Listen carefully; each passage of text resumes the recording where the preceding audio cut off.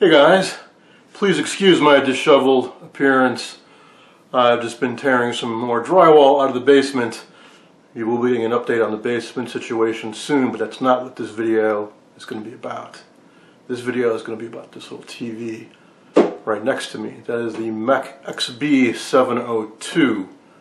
I wasn't planning on doing a restoration video on it so soon, but it sparked a lot of interest, so let's let's give it a shot. Now it's definitely going to be in two separate series. This one is going to be about the electronics. We're going to try to get it running. To try to get a picture on the screen. The cabinet, if you recall from my introduction video on this set, it needs a lot of help. It needs to be completely reveneered and refinished and get some reproduction decals and so on. Not going to do that right now. Uh, I don't have a good area to do that yet, but that should be an interesting project. I've done some selective reveneering, like just maybe the top of a cabinet, but never an entire cabinet before. All right, so if you haven't seen the introduction video, I think I called it the Meck XB702 Unveiled, uh, I suggest you go and watch that. I don't want to rehash all the same info again. Uh, just briefly, I got this set um, spring of 2021, I think. Um, and I haven't done anything with it since. It's a lesser known brand, Mac, uh, Meck Industries or something like that. The guy, I believe the guy's name is John Meck.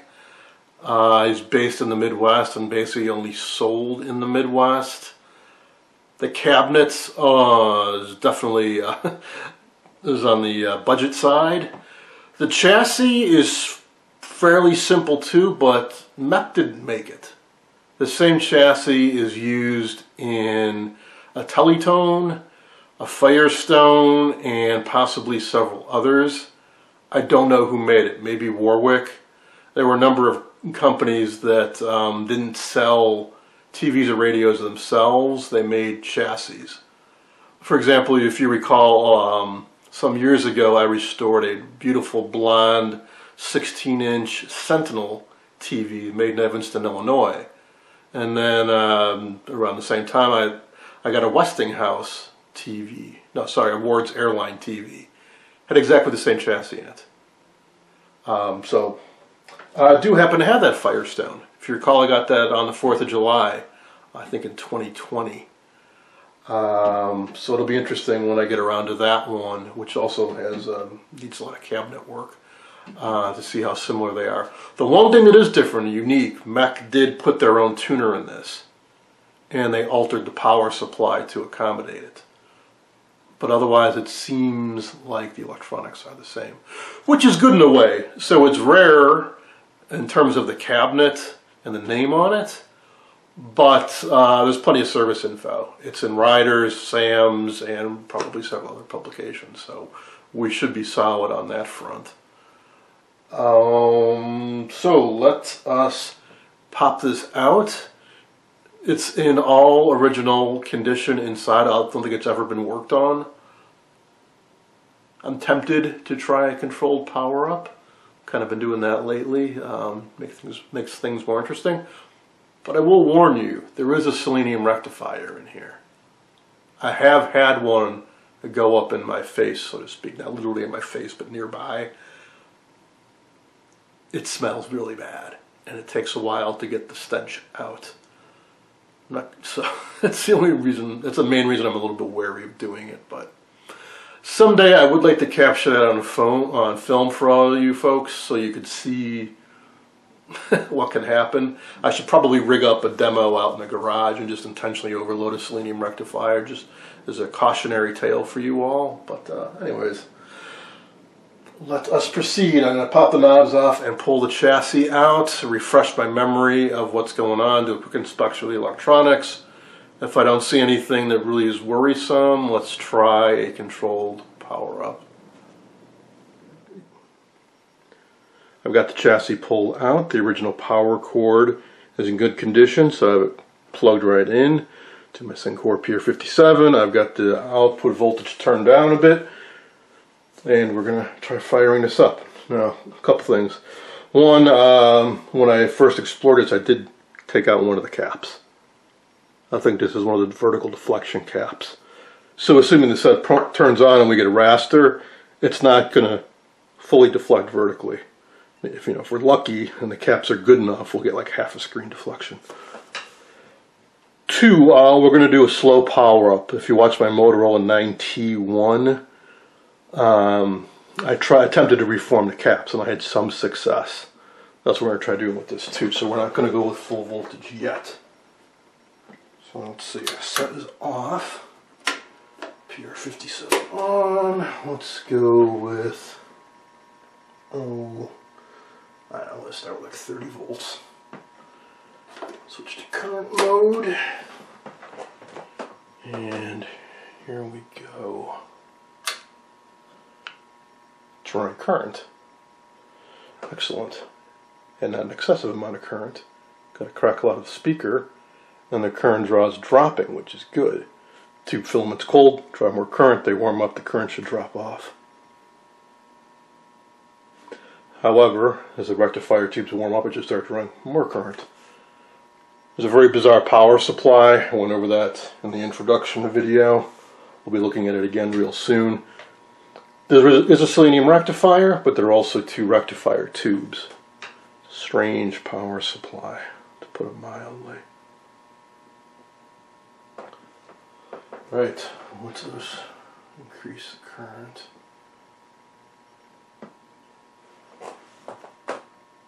See, we even see the tubes glowing yet? Yes, it's a feeble glow. I'm singing out of the 6X5 and the CRT. Series strung set, but there are two strings. They're both 300 milliamps, but there are two tubes that run on 600 milliamps. The CRT and a 6X5 rectifier. Those two I can see glowing when I have the lights off anyways.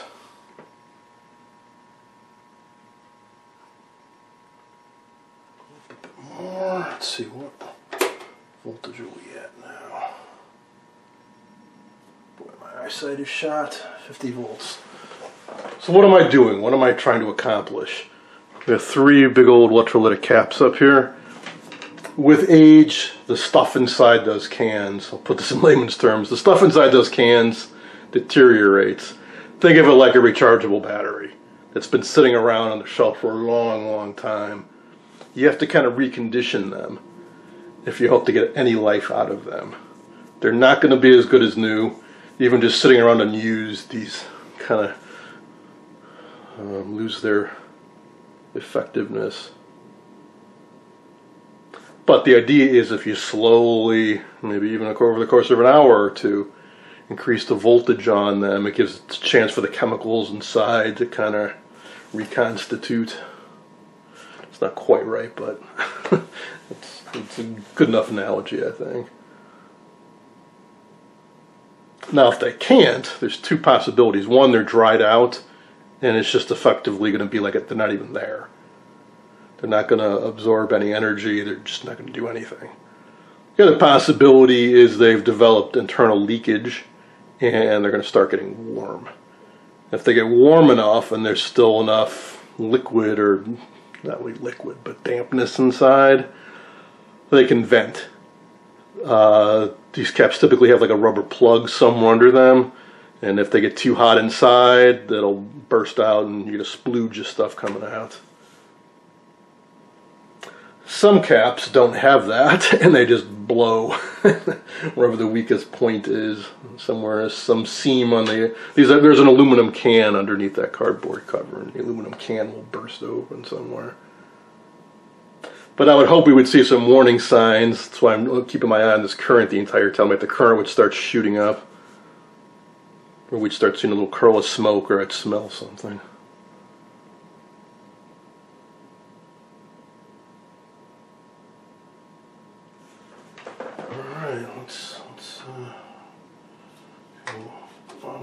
upward. When it's fully powered up, it should probably draw around an amp, amp and a quarter, I'm guesstimating.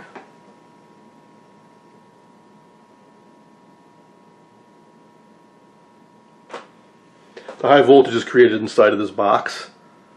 It's um, an RF oscillator step-up transformer running off of I don't know, 12SN7 or something like that. I have a feedback oscillator, sort of like a mini Tesla coil.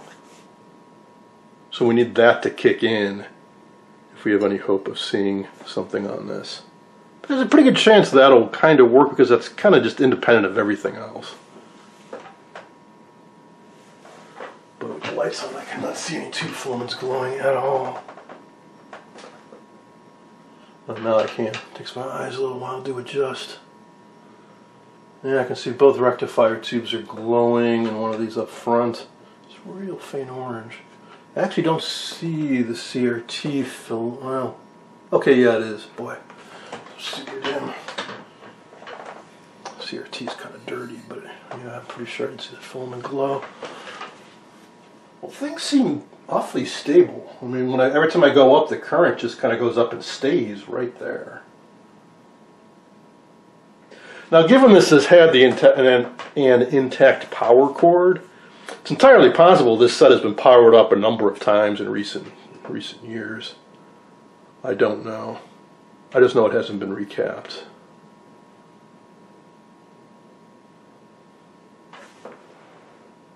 Alright, I'm getting to the point now where I can kind of see filament glow with the lights on. Certainly on this guy's a 25L6 beam power tube up front here. That one I can definitely see glowing. Let's see, I've got a cheat sheet for the controls somewhere around here. Let's see, let's make sure I got the volume turned up. Oh yeah, we got we got uh, noise coming out of the speaker. Oof, that is a stiff channel tuner. We happen to have, we no longer have an analog broadcast on channel 6. We used to.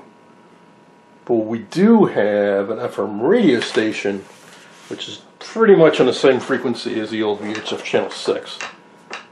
If this was fully powered up and working, we should be able to hear some music come out. We are up to uh, 75 volts, so more than halfway there. We're going to go up to 90.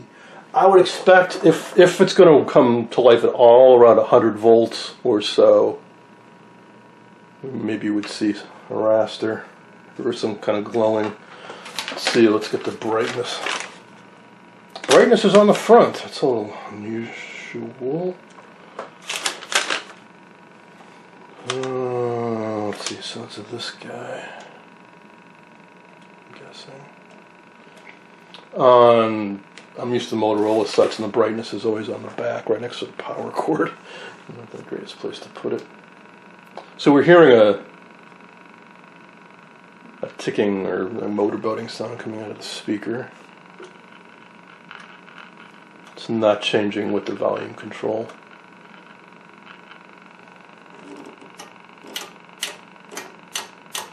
There's also no crash as I change channels. No, we're not hearing any static. Current draw, pretty modest, 0.7 amps.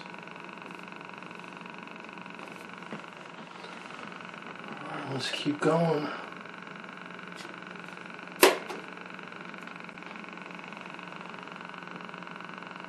It's 105 now, all the tubes are glowing.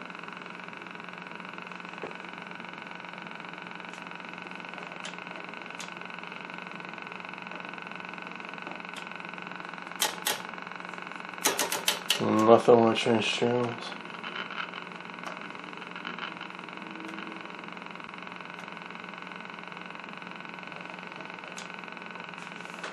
You know, you don't always get lucky. Alright, well, I'm up to 117 now. And we are drawing about 0.8 amps. It's less than I would have thought probably is a good indicator that the various B plus voltages are not that high, so the set isn't drawing that much current. In other words, the set's being starved of power. Well, that's probably why nothing's working. There also are some bleeder resistors, and there might be like a fusible resistor in the B plus supply.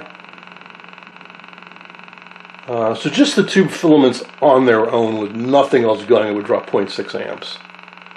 And we're at not even 0.8.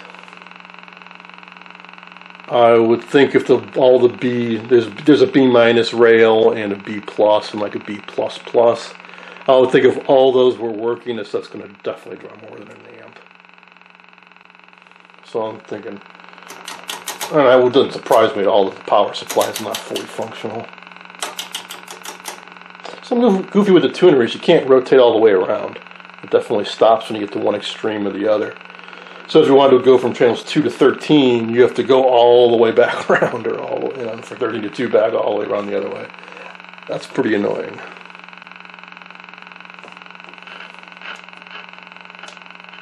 Uh, oh, am I, am I dreaming? Oh, I'm not dreaming. We do have glowage on the CRT. Oh, that's the vertical oscillator we're hearing. I'm changing vertical hold now. Just like I thought with that one cap being gone, it's not, it's not, one of the vertical deflection plates isn't connected to anything. Well, that's encouraging. So the set has got some life, CRT's got some life.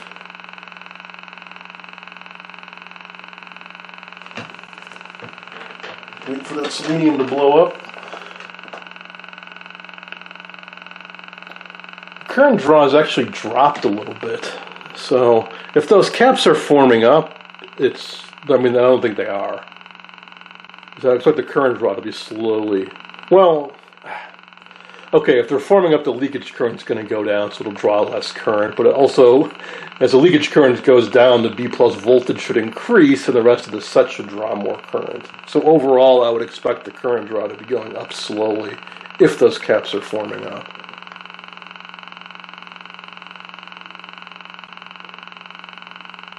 All right, well, I think that's about as good as we're going to get. So if that is, this goes clockwise. Let's see, where's that channel plate? It's on the cabinet. Ah. So that channels two, three, four, five, six. So if you have any reception, I expect to hear something here. But you know what? It's not doing anything when I change channels. You should hear it as I change channels, and we should be hearing some kind of snow or hiss. So we're just getting no Nothing going through either the RF or the tuner or the IF. Something, something is amiss there.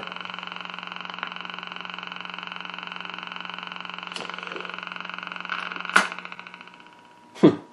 All right, not the most exciting power up, but it could have been a lot worse.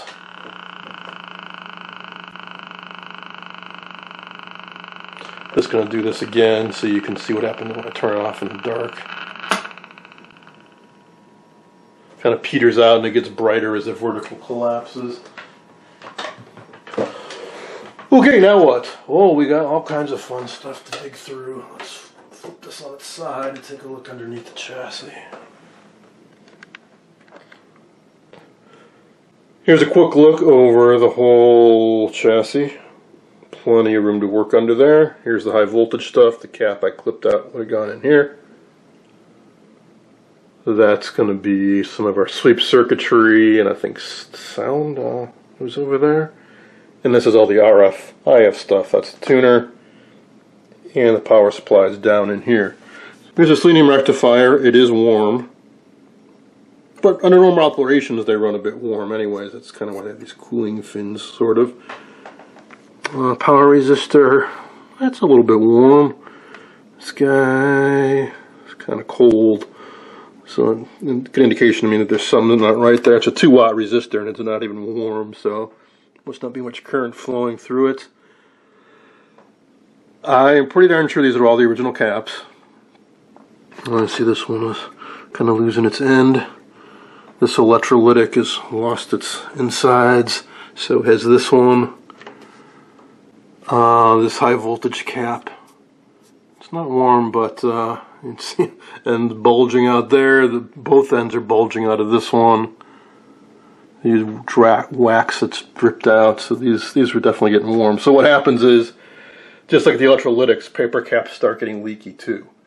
And when they get leaky, that means there's current flowing where there shouldn't be current flowing, so they get warm. And the, these are dipped in wax, and the wax will start melting.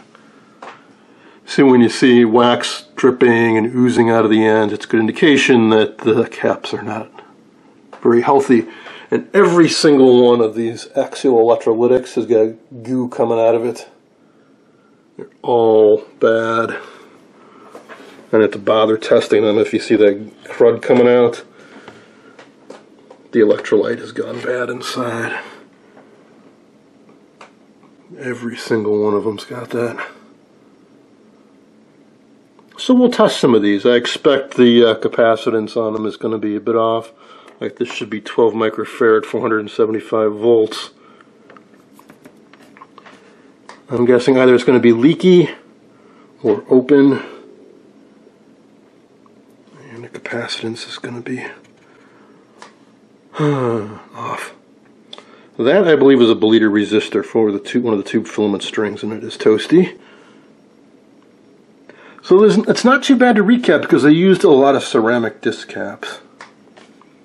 I do plan on restuffing these because it is a not very often seen set and it is 100% original.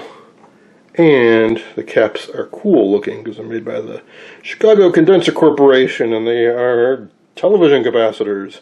And that's got that neat CCC logo, a little cap symbol in the middle. I started poking around in the power supply a bit, and the voltages, to some extent, weren't as bad as I thought they'd be. So, uh, let me quickly go over this and confuse the heck out of you all. I did go over this in the uh, earlier video, but I'll, I'll do it again because it's worth repeating.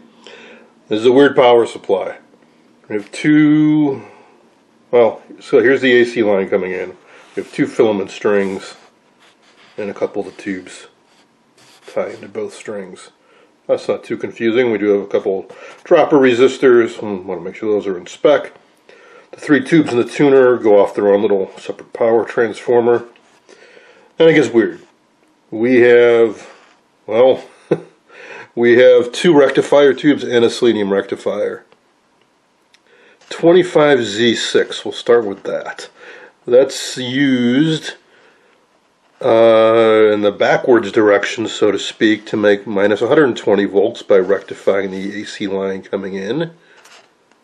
The other half forms a voltage doubler in conjunction with the selenium rectifier, which is also just used as a half-wave rectifier to make plus 120. And then the doubler uh, the output goes back around to the left, and that powers our high voltage.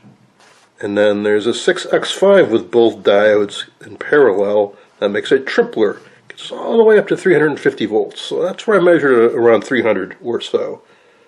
Not as bad as I thought it would be. What is bad is this. And you can just tell by looking at the power supply design that that's your main supply. That's got the biggest current load. Why do I say that? Because they have two big filter caps 120 microfarad 100 microfarad and a filter choke others just have say 30 microfarad 15 microfarad 30 microfarad and they don't have a filter choke. I mean clearly they want this to be filtered and clean and have plenty of oomph. There I measure actually right right on the rectifier where it should be the highest voltage potential. It starts out at 90, and when the site warms up, it, it nosedives to 70. So I think we've lost a lot of efficiency. That's what happens with selenium rectifiers over time is they degrade. They don't they their internal resistance goes up. And it was warm when I touched it. They do get somewhat warm in normal operation, but they shouldn't get hot. I think we've got a lot of losses on that selenium rectifier. Now there is one quick and dirty way to work around that, which, what the heck, I've never done it, so we'll give it a try. What is that quick and dirty solution? Well, here's our cathode side, here's our anode side, or minus and plus, however you want to think about it. Kind of backwards. When you replace this with a silicon diode, the cathode goes to where the plus sign is. That's where like the plus comes out of the rectifier, so to speak. We can just put a silicon diode in parallel with this. That's more efficient, and has a lower drop. Most of the power will favor going through the diode and ignore this guy. Just like you can sometimes get away with doing that when you have filter caps that have dried out. Not ones that have shorted or are very leaky, but ones that have gone open. You just tack a new cap across it. Long term, not, not the best idea because the selenium rectifier is still there and it could go up in smoke uh, at some point. But for a quick test. So that's what I'm going to do. I'm going to grab a 1N5408. That's a 3 amp 1000 volt diode. Way superior to what's in there now. And we're just going to tack it in here. Now, have, I'm sure many of you have heard when, you've add, when you replace a selenium with a silicon diode, you should add a series resistor to emulate, simulate, give it the same characteristics as the old inefficient selenium. Perhaps we'll do that eventually. I'm not going to do it right now. And the question you often see is what value should it be? It depends on the application. What we're going to do is eventually we'll replace this with a silicon diode. When we get the whole set working, we'll measure the voltage here. We know what it should be, or at least downwind when it's been filtered a bit, it should be what, 125? If it's higher, we'll experimentally determine what resistor value gets us to that 125 volts. But we're getting way ahead of ourselves. Right now, let's just tack a diode in. There's my new diode, just tacked in right across the selenium. Like I said, the cathode goes to the plus. I also replaced the high voltage cap that had been clipped out. And while doing so, I made an unfortunate discovery. These are not the original high voltage caps. As much as I like a cool old graphic and television capacitor, Chicago Corp Condenser Corporation, these aren't the originals. They're very old. Whoever replaced these did it ages ago.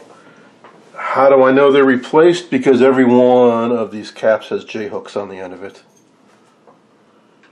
So uh, they must have failed ages ago. Anyways, let's see what, if any, difference that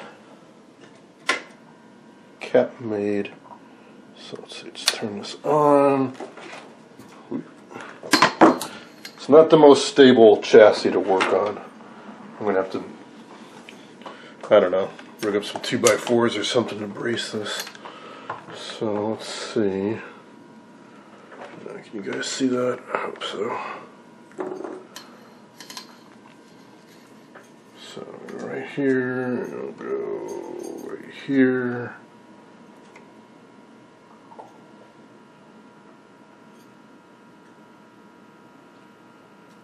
Okay, before this was like 70 volts at this point. And now it's like 116. It seems pretty stable too. So that's good. Is the set working right?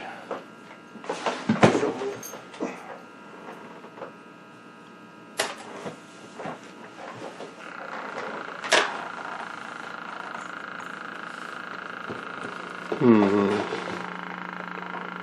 Doesn't really seem so.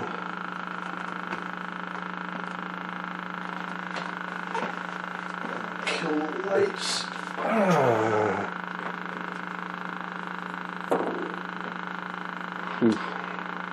It's hard to even tell what's going on.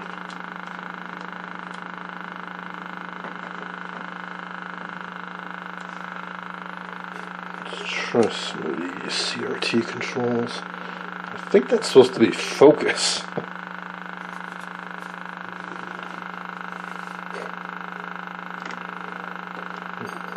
That's vertical position.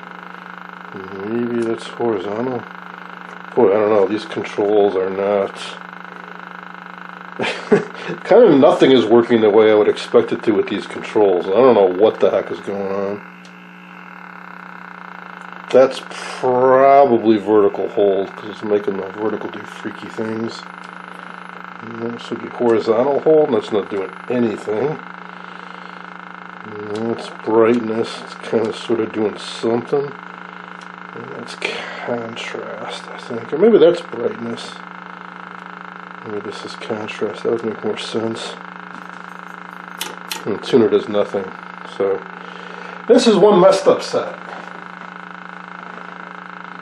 Is uh, one of the sickest sets I've seen in terms of a set that powers on, but like nothing, nothing's working right.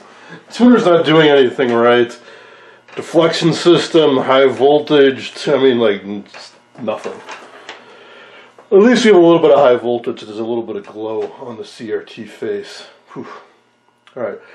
Uh, I did also earlier measure ripple on the filter cap on that uh, after that selenium rectifier, and it was like five volts of ripple, which is really high. And uh, here I'll I'll get in closer.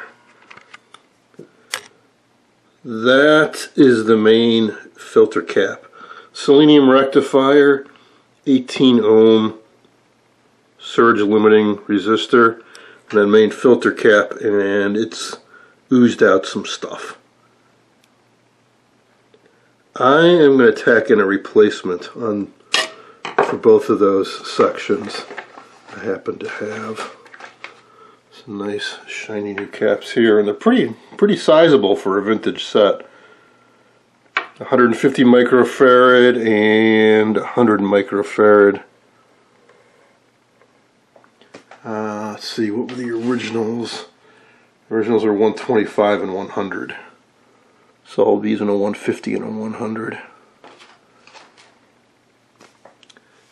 I suspect um, these have this cap is dried out or leaked out and it's not filtering very well and we're getting a lot of uh, ripple and that's probably what's causing some of that hum or tick out of the speaker. I'm just going to tack it in place across the old cap. Let's see how that goes. I figured it would be a good idea to take a break from working underneath the chassis to check all the tubes to eliminate them as a possible source of trouble. It was interesting what I discovered. One, uh, several of the tubes are branded MECK. Kind of crudely, some big old letters M-E-C-K. And Plymouth, Indiana, made in USA. Now, MECK did not make these tubes. There were only a handful of tube makers by the late 40s. RCA, Sylvania, Tung-Sol, maybe a couple others. So they bought these from somebody and had their name put on them. Also, both the 6AL5s have MECK on them. It's kind of hard to read though. But that's it. The rest do not. A, there are a bunch of 6AU6s and they all say mirror tone on them. I've never heard of mirror tone. I don't know if that was an obscure TV brand or a tube reseller. I, I don't know what mirror tone is, uh, but they're old. The date on it is nine is a nine three five. That might mean the thirty fifth week of nineteen forty nine. And finally, all of the uh, remaining octal tubes, other than that one that has MECK on it, they're all RCA. And they're all matched, like the same production week. Made in USA 926, which probably means the 26th week of 1949. What I'm getting at is, I think there's a very good chance these are all the original tubes. Because they're old and they're all the same. Otherwise, maybe somebody went out of their way to replace all the tubes at once but if they did it in the say the 50s or the 60s, or even you know very recently, maybe somebody tried to restore this set, they just bought a bunch of new old stock tubes. They wouldn't all match, or it's very unlikely they would all match. On the other hand, it looks like the set has a fair number of hours on it. All these tubes test really, really good. Very, I'm very puzzled by that. And why are only three of the tubes branded MECK if they are all the original tubes? And what is mirror tone? Uh, I don't know. I was hoping to find some bad tubes too, because well, that's not what that. Well, I can eliminate that as a source of trouble. There was one other little oddity that I found. That's the middle tube in the tuner. That's the mixer tube. According to the service info and the label inside the cabinet, the tube chart, that should be a 6AG5. I found a 6AU6 in there. And it was that same mirror tone. So if those are the original tubes, why did they have a 6AU6 in there? When the tube chart inside the cabinet says 6AG5. They're similar, they're both pentodes, I believe, but there are some characteristics that wouldn't make them that makes them not interchangeable. I think one's remote cutoff and one's sharp cutoff or something like that. They're not exactly drop-in replacements for each other. I'm not saying no signal will get through, but uh, I don't think it's a good valid substitution. So I put a 6AG5 in there. Made no difference whatsoever. okay, so now what? Well, let's get back underneath the chassis. Here are all my new high voltage caps tacked in place. Uh, I replaced a few more electrolytics on axial here and here. I figure I'll go after that horrible buzz on the audio next. It's a little confusing to read on the schematic, but because eh, the lines are a little faded. But off of the main B plus, after that 18 ohm resistor next to the selenium rectifier, where it says 200 milliamp, there's a line going down to 150 ohm resistor. That goes off to the right, and where it says plus 120V audio. There's a 30 microfarad filter cap on that. And if we go over to the audio, we see that goes to the primary of the output transformer. Also, there's a 4.7K going to the screen, or is it the suppressor? And there's another 30 microfarad on the other side of that. I do believe that would be this cap for sure, and then either that or that. And just like all the other electrolytics in this set, there's goo coming out of it. Well, was goo, now it's just dried crust. I'm going to try replacing those. I say try because these are axial and I have ordered up some replacements on hand. I only have radial for this type, where both the leads come out of one end. It might be tough to span. This one probably maybe not too bad, but this guy, well, I guess I'll, I can attach an extension lead onto it. Probably replace that guy too. So uh, no, I'm not doing this exactly methodically so much, and I'm not not testing things because I can tell these caps. I know all these caps are bad just by looking at them. When the ends are oozing out, when you see dried crud that came out of the electrolytics, they're bad. And I'm sure that's causing some of our problems, if not all of our problems. I will get out my cap tester. We'll at least check a couple of these just to confirm that. Uh, let's see, 30 microfarad, 150 volt. I'll, I'll dig up something appropriate.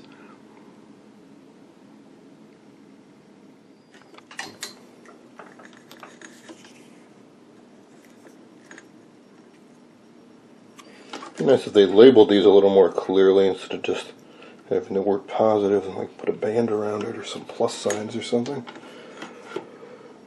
Okay, uh, let's check for leakage first. Oh, look at that. it is extremely leaky. If it was a good cap, that light would come on briefly and then fade out as the cap charges up. Or if it was reforming, it would gradually dim down. That's not doing anything. Alright, well, let's check for capacitance. Huh, it actually does have some capacitance. And it's actually about 30 microfarads. So it's not completely crap. Boy, it sure is leaky.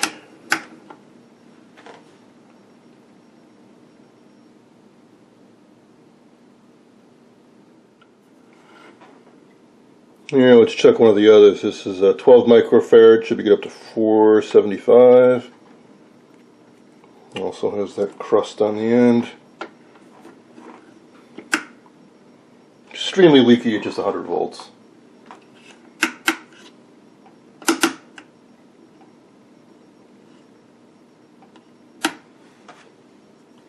I what I figured. No, just for the heck of it, let's try doing one of these high voltage caps.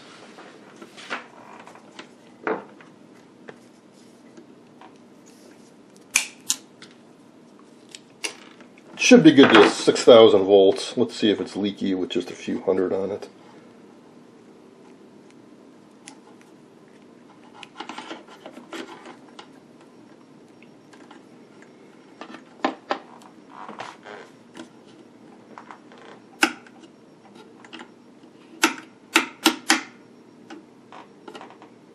Yeah, it's leaky with just 500 volts. No chance of working at 6,000. The rate at which that light flashes is an indicator, visual indicator of how leaky it is. If it's just on solid, it's very leaky. But even flashing, I mean, for the way this cap is used, there should be zero leakage. Electrolytics, you're going to always have at least some leakage in the microamp range, maybe, even for a brand new cap. But paper, plastic film cap should have zero leakage, extremely small.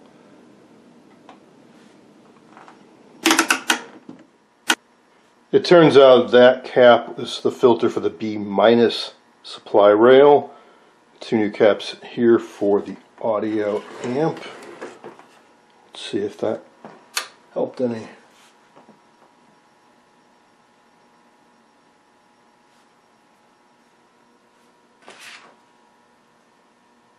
Also noticed on the uh, cover page for the SAMs, they do give the current rating and it should be 0.97 amps, let's just call it an amp at 117 volts.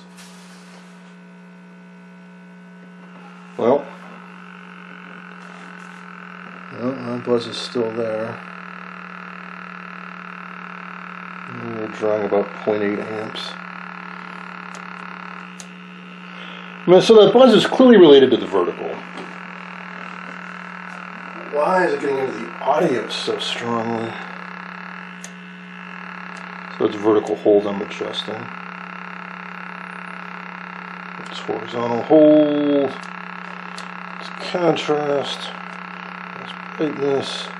So all the controls are kind of doing their thing. It's horizontal centering, I think. Focus. This is vertical centering.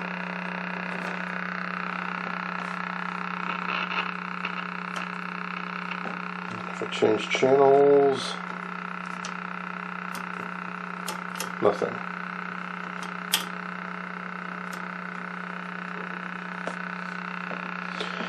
Hmm.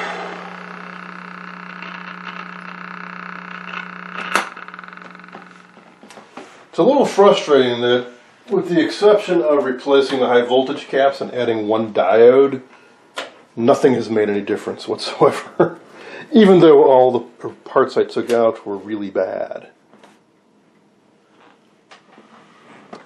Huh. It's tempting just to blow through and recap it because I know all the caps are really bad. But I would like to see at least some incremental progress.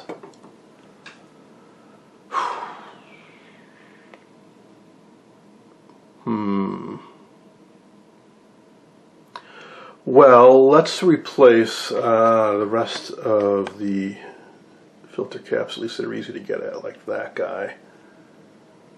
That is the other cap on the B minus. There's a pi filter on the B minus supply.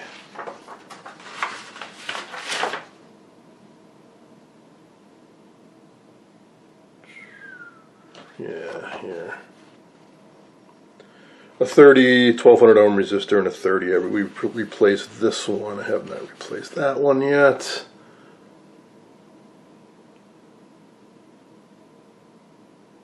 I replaced quite a few of the others though. There's, there's only, there are only two electrolytics in each of those three cans up top, so it's just a total of six.